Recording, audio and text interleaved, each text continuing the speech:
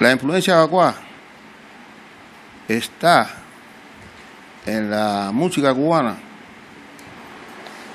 no solamente por lo, que militaban entre la religión, los portadores de la, cultura musical artística de los abacuá, sino porque hacen una versión de los cantos, de las formas de tocar, que pasa a integrar los coros claves, que después evolucionan a los coros guaguancó.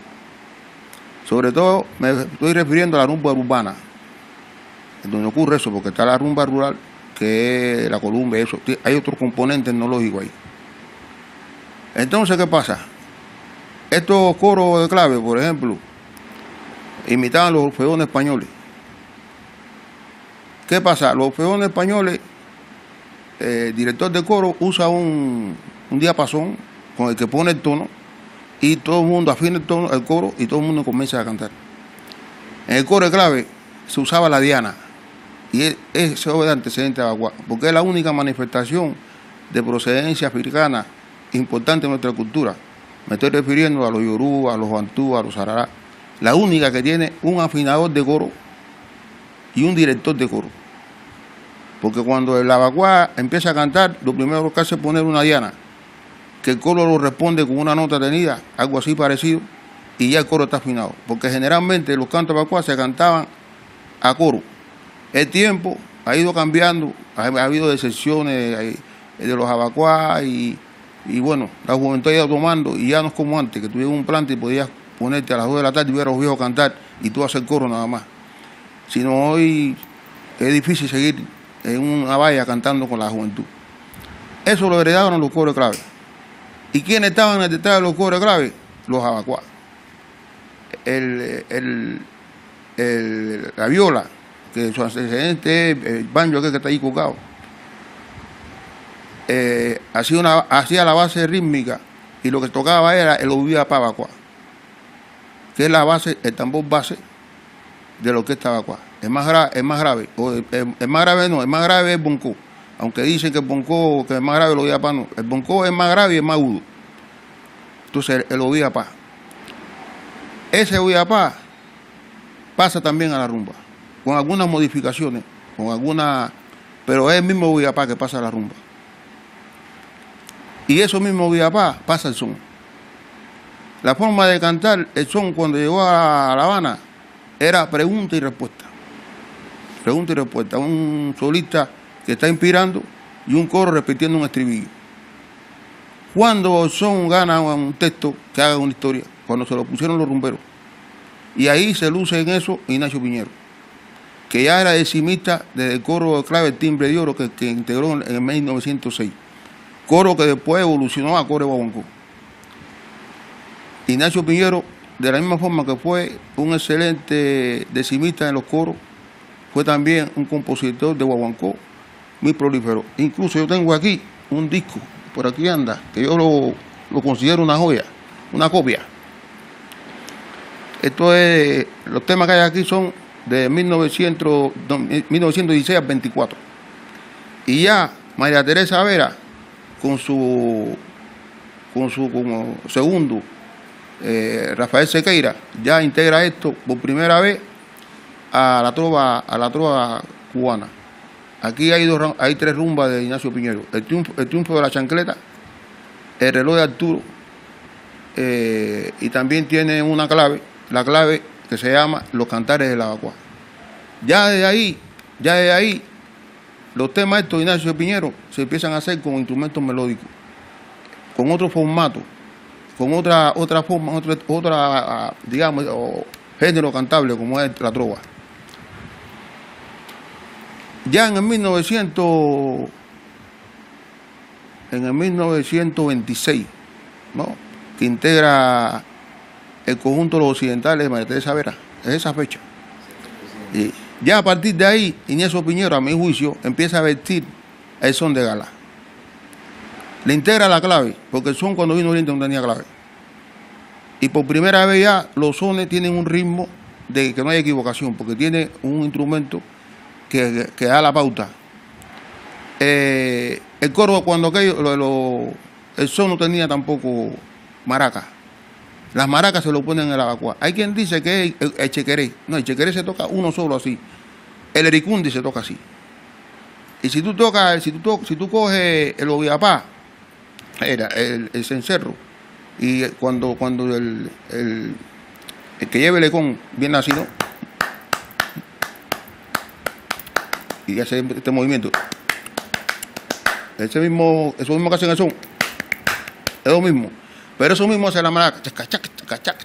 Incluso la maraca de la mano derecha se le ponía más, más semilla para que diera ese acento. Todo eso viene de la vacua. Y bueno, aquí también gana el son la marcha, porque siempre que vino allá era improvisando. Aquí ya gana la marcha. Y las improvisaciones salieron del propio Bonconcha Miguel, que es padre de los de los, los instrumentos parlantes, los improvisadores que de ahí sale el quinto de la rumba. Y de ahí sale, eh, cuando a la paila pasa el nuevo formato de los grupos soneros, que se, porque primero están en, el danzón, que es muy limitado su movimiento. No, cuando ellos se empiezan a improvisar ya en los grupos soneros, que en la llamada salsa, en la llamada timba, ya ahí eh, eh, la mayoría de los golpes, los, los, básicos, salieron del Boncó, salieron del quinto. Con una posibilidad más amplia de ejecución, porque están tocando con baquetas que cuando caen arriba el parche le da más posibilidad, Pero fundamentalmente en la escuela los muchachos estudiaban el Boncó y estudiaban el quinto para meternos en la paila. Entonces pienso que, que Ignacio Piñero fue eh, uno de los que vivió, de Galesón. Después le cambia el formato, cuando pasa el septeto, que le integra el bajo, ¿no? Y después esto sigue evolucionando cuando señor le pone la tumbadora, ah, le puso la trompeta también, ¿verdad? Al señor le pone la segunda trompeta y le pone la tumbadora, que según las investigaciones que yo he hecho, el primero que tocó la tumbadora fue este niño, el Santo Ramírez, que era en Sagaré Sangrimoto. Ignacio Piñero era Común. Fíjate que estos grandes músicos, todos eran abacuá. Tomás Eriza, de, de los coros de Paso Franco, que tantas veces chocó con Ignacio Piñero, era, creo que era, era de, los de los de ahí de, la zona del cerro. No sé si eres Poribuma, si eres un Efo o eres Enillén, eres un. Eforibuma. Y así, esa es la influencia de la vacua en la rumba, de, los cores clave. Esto lo, pasan a la rumba y la rumba lo integra en el son. Ahora cuando tú ves el son, tocando ahora la, timba, tú verás que te hacen con esta mano, ca, ca, ca, ca, ca, eso es puro y con abacuá. Porque la clave era esto. Pero fue hacer al revés. ¿Eh? En vez de hacer un, dos, un, dos, tres, hicieron un, dos, tres, un, dos, y el tiempo es el mismo, cuatro tiempos. El lobón tocaba sobre la barriga del bonco. Eso yo lo que llaman los palitos en la rumba, eso es lo que es la cáscara. Con unas, con unas subdivisiones, ¿no? Pero eso es lo que es la cáscara. Entonces ahí tú ves que en la timba te están tocando con esta mano el ecón, lo que hace el ecón, y con este están haciendo la cáscara. Cuando te hacen esa base, la base es la misma que tenía la rumba, que tenía la vacua, que tenía. Es la misma base. Y Nacho Piñero en eso aportó mucho. Yo creo que a la música cubana le debe mucho a Ignacio Piñero. Y creo que no se le ha hecho la justicia suficiente que se merece. Yo aspiro a que un día a ver que le hagan un monumento a Ignacio, que le hagan una algo que lo recuerde y que, y que, y que, y que hablen más sobre, para que, para que Cuba, el mundo conozca más que, que está el caso de, Chano Pozo, es verdad que Chano Pozo aportó mucho, es verdad. Pero también cuando los hombres mueren en circunstancias como, como murió Chano, se convierte en una leyenda. Yo no estoy diciendo que sea mentira lo que dice, lo que se no. Pero bueno, así pasa con Malanga, que dicen que es mayor rumbero y sabemos que otros rumberos fueron mejores. Yo no digo que Nacho sea mejor que Chano, yo creo que lo va a aportar mucho. Lo que, lo que Ignacio no ha tenido la suerte de que se hable más de todo lo que pudo hacer por la música cubana. Yo pienso que si, si la rumba, como se dice, es una de las formas más auténticas de la identidad cultural cubana, que es un sello inconfundible de nuestra idiosincrasia. Esos son dos factores que están presentes en nuestra nación. Y allí está Ignacio Piñero, con todo, lo que apuntó. Más no te puedo decir porque si no me pregunta ahora, no se me ocurre más nada. Maestro, cuando se 60, en los coros de rumba, y, es muy común escuchar que se dice, eh, la rumba eh, toca con sentimiento de manana. ¿A qué se, se debe? Bueno, chicos, mira, eso se ha preguntado mucho, se, no me han preguntado mucho. Yo pienso que se debe al bongocero que tuvo eh, Ignacio Piñero, que era el código del Agustín Gutiérrez, que todo el mundo lo conocía por Manana, con el que yo trabajé tiempo y lo conocí muy bien. Era un tipo que hay que recordarlo con alegría porque es muy, muy simpático. No, no, muy simpático. Yo conozco cosas de, conozco cosas de Agustín. Te puedo hacer una anécdota. Una vez estábamos en Checoslovaquia y determinamos hacer una gira por Checoslovaquia y nos invita la, la, embajada a hacer una recepción.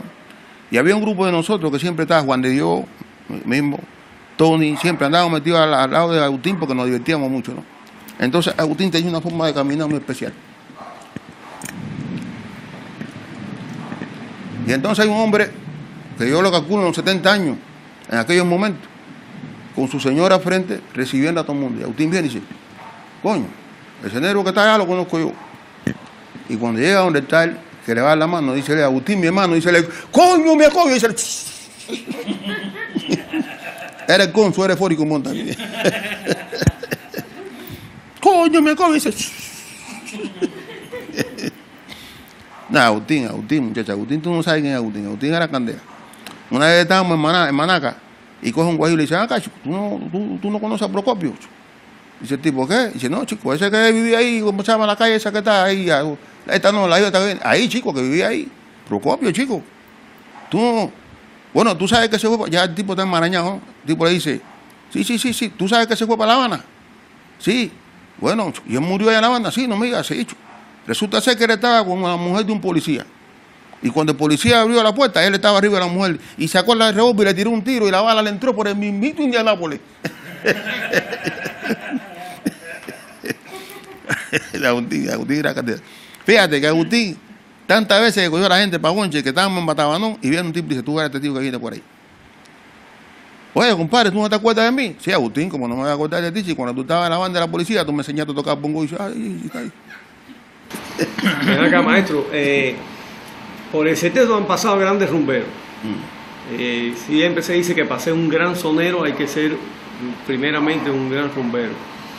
Eh, y destacados trovadores, mm. como Villalón. Mm. Y el centeto, además de Ignacio Peñero, ha contado con esa herencia a Bacuá. De los grandes rumberos que integraron la historia inicial del son y eso, ¿usted recuerda algunos nombres? Bueno, de los más recientes, por ejemplo, te puedo hablar de, Tata Ramos, por ejemplo.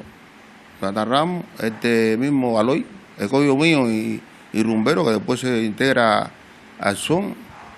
Y yo tengo, hay un hombre que era Foricomón, que era, decía el rey de Punto Guajiro, que no me recuerdo cómo, cómo se llama, y caramba. Ese cantaba Amigo mío, tiene una copa con agua, te convida. Aunque nadie te voy, te, voy, te voy a hacer la historia de mi vida. Me mucho una mujer. ¿Cómo se llama ese hombre, carajo? Eres fórico, eres fórico, pues. Eh, ¿Cómo está aquí el pedazo? El que bien me moró. Yo estuve cuando, cuando murió, que le hicimos, que le hicimos la ceremonia de despedida. Pudieran haber otros más, seguro que lo hay, pero bueno, ahora no, lo tengo en la memoria. Juan de la Cruz, sí. que fue fundador del Seteto Nacional. No, ¿para qué te voy a decir que lo conocí como rumbero? Pero yo sé, yo sé, te voy a decir una cosa. Un rumbero, un perfecto cantante de son. Y te voy a decir más, el que cante o banco canta cualquier cosa. Porque el metro ese de la clave que tiene que aprenderse el rumbero. Tú eres cero y te empiezas a inspirar, pero tú tienes un coro ahí que te va a responder en la rumba, si tú no le entregas el coro así en la boca, se te regó y se echó a perder la rumba. El rumbero tiene que tener un dominio del metro tremendo. El rumbero puede cantar cualquier cosa. Bueno, yo le he probado, ¿no? He cantado son, he cantado bolero, he cantado de todo un poco.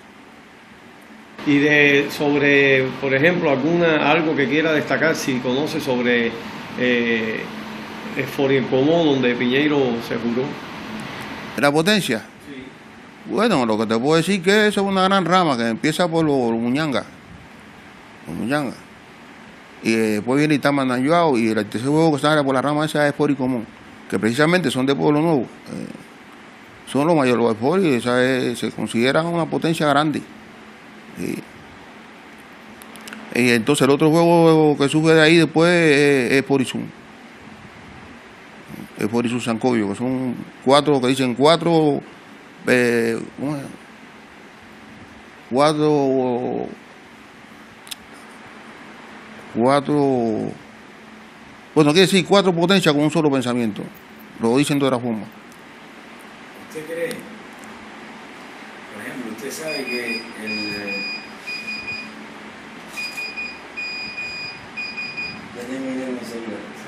Ese me está llegando la recarga. Ya, déjalo ahí, ese es un mensaje. De la recarga, estamos sin dinero. Usted sabe, por ejemplo, ahora hablando de otro tema que parece que está eh, eh, lejos de lo que estábamos hablando, que por ejemplo, el feeling se canta aparentemente sin tiempo, se canta rubateando mucho. Una vez, eh, cuando estaba en vida, el difunto José Antonio, yo era jovencito, y tuve la oportunidad de hablar con él casi toda una tarde, estaba el niño Rivera, estaba él, y estábamos en una descarga por allá por, Puey. Eh, y entonces estamos hablando del feeling, que si el bongo, que si lleva. Entonces él dice, no, si se le pone un bongo una maraca es un bolero, porque tiene que cantar en tiempo. Eh, pero el feeling va con una guitarra, tú haces como si fuera una rumba. Tú tienes que llevar tu tiempo interno, pero es como si fuera una rumba. ¿Usted está de acuerdo? ¿Cómo usted ve esa relación entre el feeling que se canta con una guitarra? Bueno, yo te voy a decir una cosa. Si el, el tú le pones el ritmo y te canta feliz. Porque a mi juicio esto es una posibilidad de jugar con la medida. De hacer una interpretación especial de la medida. Igual que el rumbero. Porque ahora yo te canto esta rumba. Aquí dice, tum, tum, tum. Tocan a la puerta. Abre soy yo. Tum, tum, tum. Está con la melodía metida. Pero un rumbero no canta así. Tum, tum. Tum, tum, tum tocan a la puerta, abre eso yo, tum, tum, tum. ¿Te das cuenta? Así canta un rumbero y el sonero, eh, el, el, el, filinero tiene eso, se juego con la medida. Pero hay un ritmo que está ahí adentro, que está en la misma guitarra como la esté jugando, pero hay un tiempo que sabe dónde está el tiempo para jugar con esa medida. Pienso yo que sea así. Mire, mm. una última, última pregunta. Eh, yo como casi todos los cubanos interesados en, lo que desgraciadamente se llama folclore, porque se llama folclore solo lo que, lo que viene del África en Cuba. Uh solo tenemos mucha influencia también hispana dentro de la música, el tres, la guitarra y, algunos modos de canto que, que por ejemplo, eh, en, estos, mm, en estos trabajos y recorridos de investigación que eh, descubrí que la jota, la jota aragonesa, que se toca en Aragón, eh, tiene muchas cosas, por ejemplo, que nosotros también usamos en otro tipo de, música, no específicamente la música campesina, sino en otro tipo de... Pero bueno, conclusión lo que le quería decir. Observando y escuchando la diferencia entre la música bantú, eh, también una parte del mal llamado bembé que se toca, eh, qué sé yo, en Jovellano, en Palmira, pero que no tiene nada que ver con los santos, que es malongo, y, y la rumba y lo otro, lo otro, y el yoruba, el abaguá eh, tiene unas melodías, tiene el coro, la melodía del coro, incluso la melodía del cantante y el modo de, adornar que tiene el cantante es totalmente distinto al resto de las influencias eh, africanas que nosotros tenemos en Cuba. ¿Me puede hablar sobre eso? Bueno, imagínate. ¿Qué decirte sobre eso? Eso, eh, eso, eso es carabalí. Yo no te podía decir otra cosa que, que no, puede, no puede ser igual que Yoruba, ni igual que Bembe, ni que porque es otra cosa completamente diferente. Y pienso que con eso vino, no, no se le inventó aquí ni se le creó aquí. Eso le hereda mucho a la rumba. Tú cantas un canto abacuá y otra cosa que yo no te dije. Todas, estos, todas estas manifestaciones que acabas de decirme, cuando empieza el, antifonero a inspirar, enseguida empieza el coro a responder. ¿Entiendes? Y no existe eh, esa preocupación de Moroá que pone tono. Ey, ey, ey, ah, cuando dice acá el avión, venga, y San, y varios, y al coro dice, acuriñan, serio, acure enseguida, porque ya está afinado y todo el mundo va a salir afinado. Eso no pasa en ninguna de estas otras manifestaciones. En ninguna de las otras manifestaciones pasa eso. Pero no pasa también esto, que te va dirigiendo el coro, porque te dice, acuriñan, serio, este coro, acuriñan, tiña, hombre, cama, cama habla. Kama Kuri Nandiva. Varios. Nandiva Pisie. Kama. Aro. Eso mismo pasa en el Guaguancó. A la Corte Suprema adelante yo quiero ir. Óyelo. Ahora está, está haciendo lo mismo con Moroá. Ahora, y, y, le y, la, y la Diana. Porque si en Moroá dice, ay, ay, ay, ay, el solista eh, en la rumba dice, ererí, a la, la, la. Esa es la nota.